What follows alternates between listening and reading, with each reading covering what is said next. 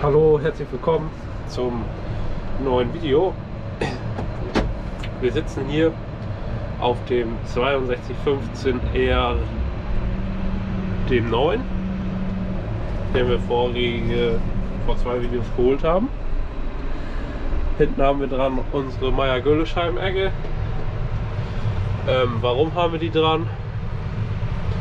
Ähm, wir fahren jetzt los und holen eine neue.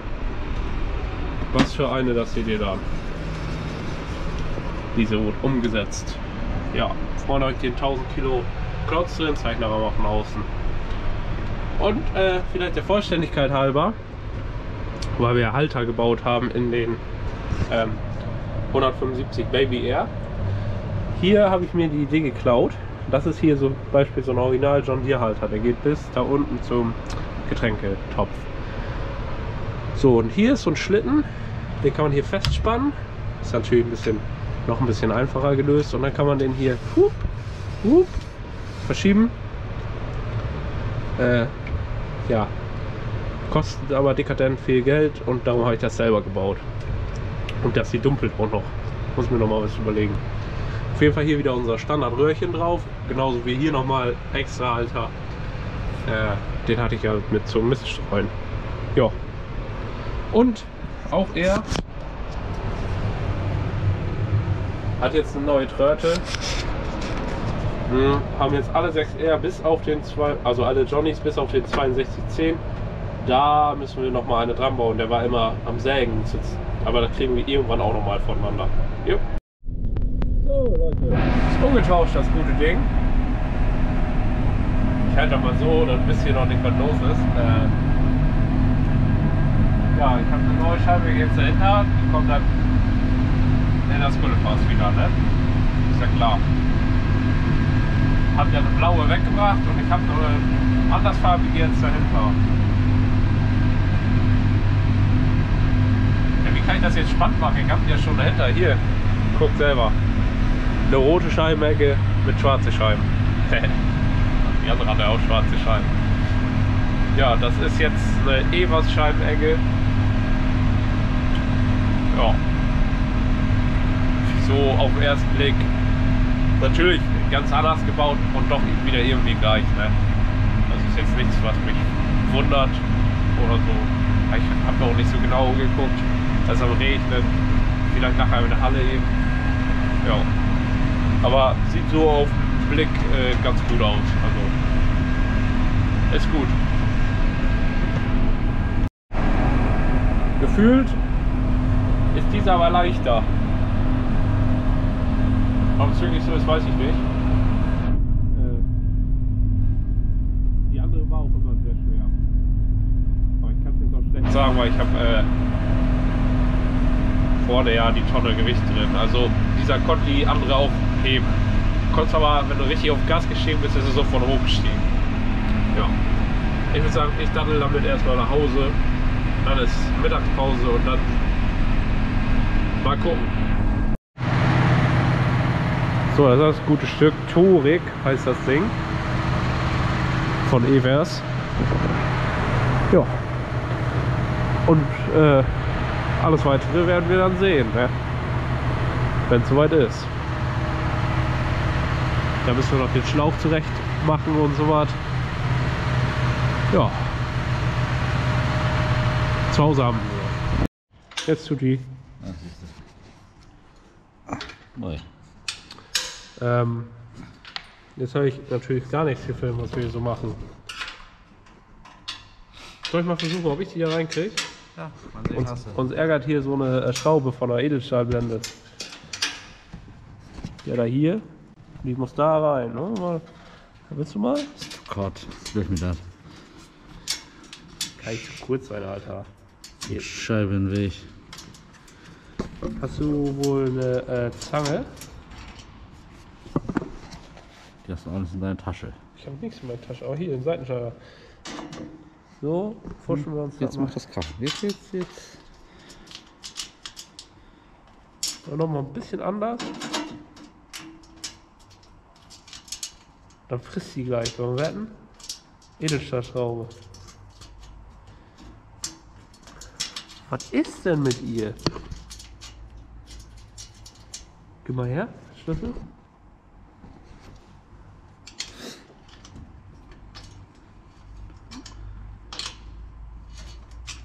Ich glaube, ich hab's.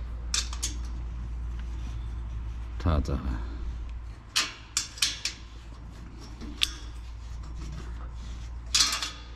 Hier, Grüße gehen raus an Pulli, ne?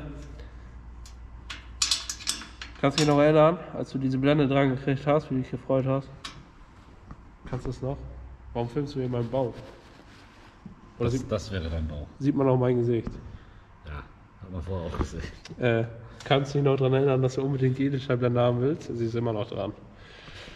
Wolltest, willst ist ja falsch. So, was haben wir gemacht? Ähm, hier ist bei der Maisernte mal der Auspuff abgebrochen. Das Stück, was hier innerlich am Turbolader sitzt, da lang geht bzzzt, und dann da unten flanscht, das liegt da.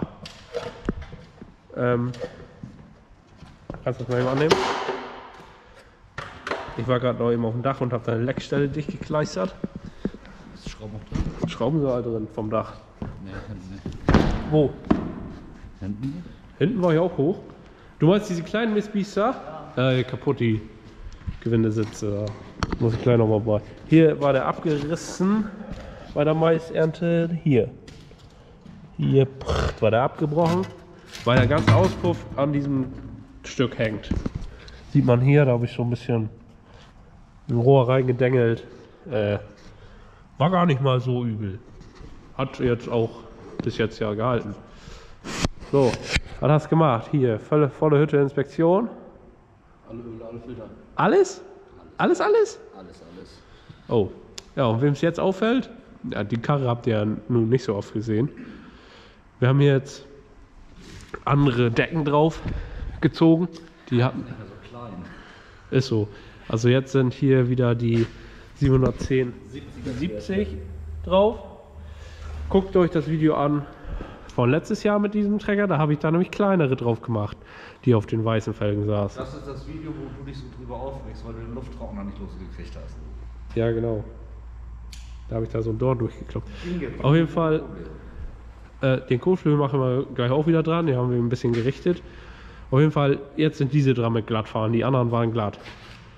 Ja, mehr oder weniger. Da waren ein paar Brüche drin. Da wollten wir nicht mehr mit rumfahren. Alt. So. Ja. Ja, hier muss der helle Highway dran. Das ist alle nix. So, was mache ich hier? Ja, gute Frage. Bin ja am äh, Maschinen reinholen zum Nachgucken. Zubringerfässer. Ja, wir versuchen den zu fangen.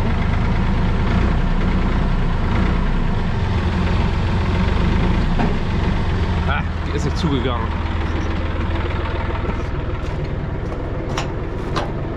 So, hier habe ich ja Universal Bock vor. Äh, Kugel, Dreipunkthaken und Zuchtmaul. Und äh, ich will auch noch eine K50 irgendwie da integrieren für Autoanhänger. Wie genau weiß ich es noch nicht.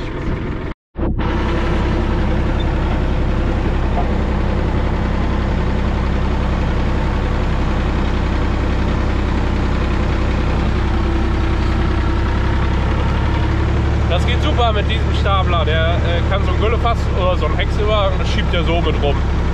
Ist gar kein Thema. Was noch wohl interessant wäre, wäre vorne ein ähm, richtiger Hydraulikanschluss ähm, zum Lenkachselsperren. Ne? Dann, dann müsste ich glaube ich nochmal irgendwie raus, raus äh, wie ich das machen kann. Ich habe hier ein Steuergerät für Seitenverschiebung. Mal gucken. Peng! Zeitsprung. Güllefass ist schon davor. Wir haben gerade das Geschenk abgebaut. Heute Morgen haben wir ein bisschen Zubringer nachgeguckt, habt ihr gesehen.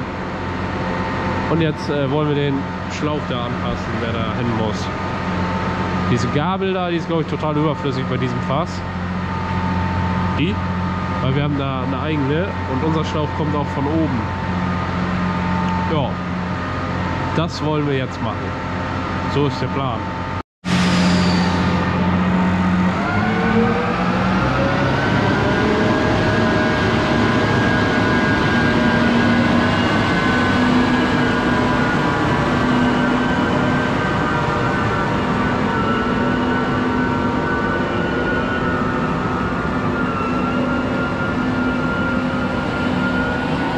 Jetzt das äh, Gespann für Frühjahr 2023. Bis auf das Gewichtsstück, fehlt natürlich noch. Erste Mal hinter, der, äh, hinter dem Fass. Ah ja, auch gestern erst geholt, also von daher. Die Evas. Markus wäscht das jetzt noch eben ein bisschen. Wir haben den Schlauch angepasst. Da mussten noch ein paar Bögen zwischen weg äh, zu der Maya. Jetzt ist hier da so ein Drehgelenk und der Schlauch geht in schönem Bogen oben an das Fass ran. Äh, da ist die Schnittstelle, da ist so eine Führung und äh, ist jetzt die Scheibenecke ist genau 4 Meter jetzt Oberkante und der Schlauch ist ein bisschen höher. Ähm, ja, muss ja halt nachgeben, wenn man, wenn man den irgendwo drunter dengelt. Also, das ist so ein Stück höher, ne? Man wird es nicht ausmachen. Oh, Regen. Ja, passt wohl. So laufen. So, das war das. Hi. Hi. Wir bauen gerade das äh, Schleppschlauchgestänge wieder an. Die Scheibenweg ist ja fertig, aber wir müssen jetzt erst auf Getreide. Das meiste haben wir. Ich mache noch eben die letzten Schläuche dran. Das ist hier oben so mit vier Punkt. Äh, da, da und hier ist so eine Querstrebe. Kannst du die Neigung mit einstellen, den Hangausgleich. Ja, das müssen wir gerne neu machen. Und dann stellen wir, machen wir noch ein Gewichtstück davor und dann stellen wir den weg dann. Können wir damit auch loslegen. Das ist hier 24 Meter Vogelsang Schleppschlauch äh, Gestänge. Kann man hier auf Stützen abstellen, hinten auch. Hinten sind die nur schon raus. Da musst du ein bisschen mit der Hydraulik spielen, um die oberen Lenker da einzubauen. Ja. Ähm, das andere Güllefass, das 18 Kubikmeter Güllefass, ist auch schon äh, heute unterwegs. Fährt Gülle aus. Ja. Aber dies hier erst nächste Woche frühestens. Jetzt gucken wir noch, er fährt jetzt ein bisschen vor, dann können wir ganz ausklappen. Dann gucken wir noch mal, ob alles äh, läuft. Ob der gerade hängt und sowas. Sonst müssen wir die eine Strebe dann noch verdrehen. Ja, jetzt geht es erst los hier. Ganz interessanter Vorgang. Da hinten schiebt sich was raus. Da vorne klappt was ab. Da kommt noch Wasser raus. Reingeregnet. Ja. Ja, und so wird es ausgeklappt. Windig ist das heute. Windig.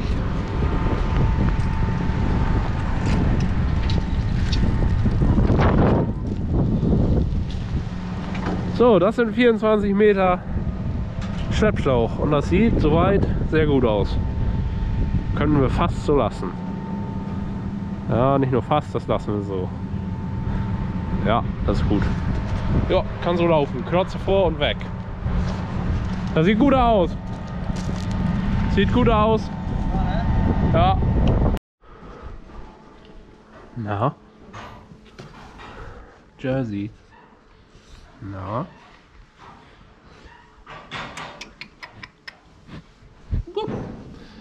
Ja, unser Jersey ist umgezogen, haben wir heute hier hingestellt, aus dem Kälberstall. Äh, er ist eigentlich, gehört er ganz woanders bei. Der gehört eigentlich zu den Rindern, die stehen da hinten schon. Vom Alter. Aber von der Größe her passt er zu diesen. Und äh, er ist jetzt heute mit rübergekommen hier auf den ersten Spaltenstall. Also hier kommen die nach dem Kälberstall hin, können sich äh, hier dann an die Liegeboxen gewöhnen. Ich habe das heute Morgen schon mal eingestreut mit Stroh.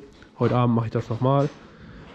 Ja, da sind Matratzen drauf, schöne weiche, dass sie äh, sich an Liegeboxen gewöhnen, weil das hier ist wohl ein wichtiges Alter.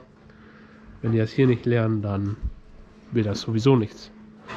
Ja. Hm. Was haben wir noch so hier veranstaltet? Ist jetzt Samstagnachmittag. Gestern haben wir noch schnell hier so ein neues Fressgitter eingebaut. Hm. Ja, das ist jetzt ein GEA.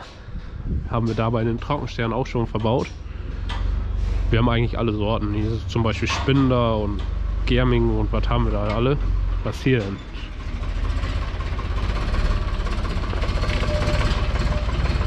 Da geht wieder ein Arbeitseinsatz los.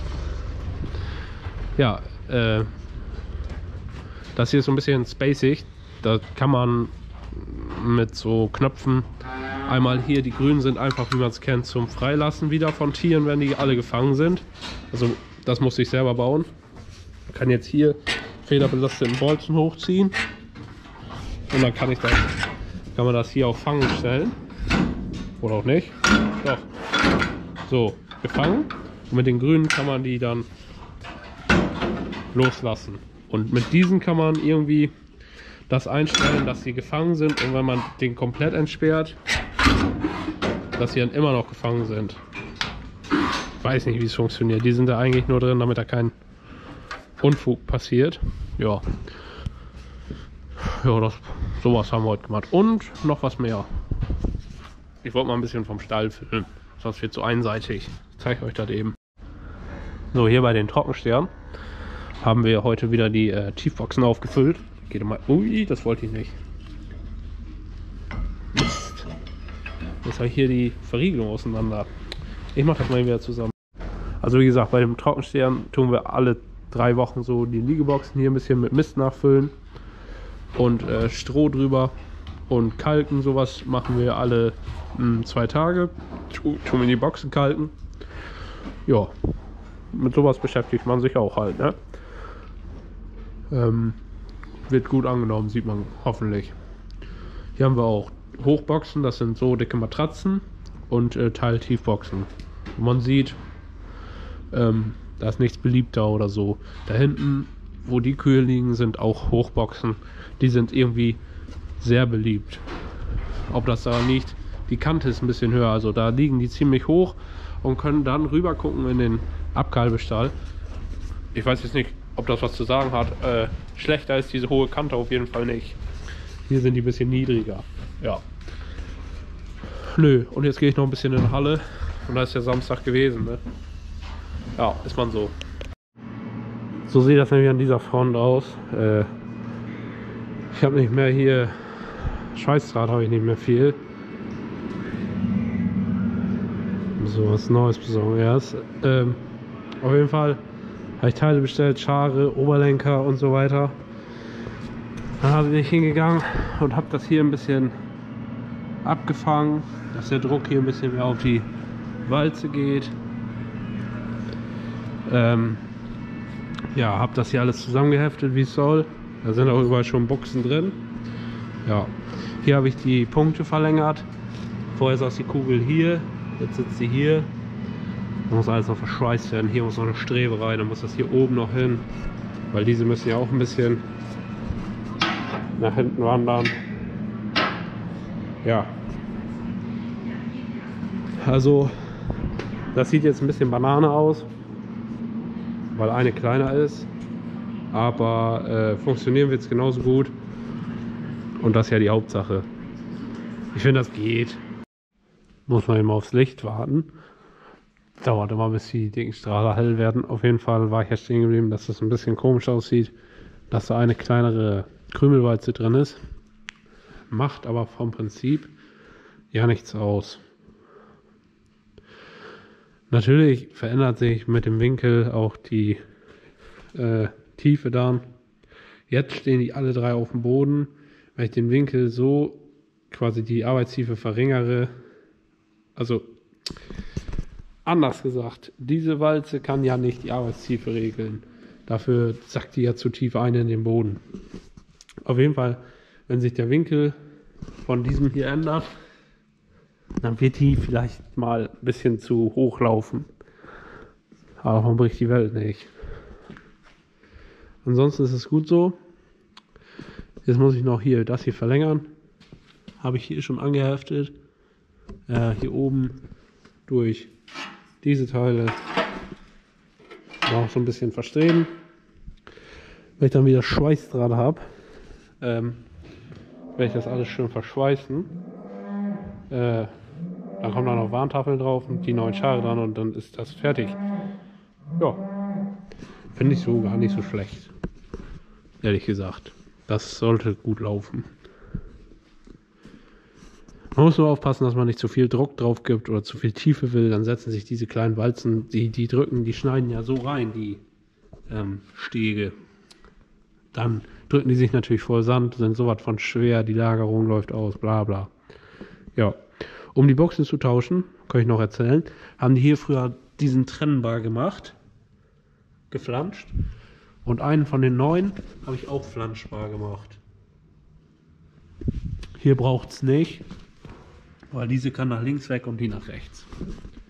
Genau. Ja. Schön. Habt ihr das auch gesehen? Ja. Was habe ich noch? Ah ja, das, äh, ich habe einen Zugmaul bestellt für unseren Radlader für die Schiene dahinter. Also es ist dunkel. Muss ich mit, Kam mit Handy ein bisschen leuchten. Ah, ich zeige einfach die Schiene, wie die dran ist und das Zugmaul. Das könnte ich noch. Das Ding steht hinten auf Siloplatte, da schleppe ich das jetzt nicht extra hin. Kommt noch wo mal. Ja. Dann würde ich sagen, danke fürs Zusehen und bis zum nächsten Mal. Macht's gut. Äh, sonst noch? Nö. Ja, macht's gut.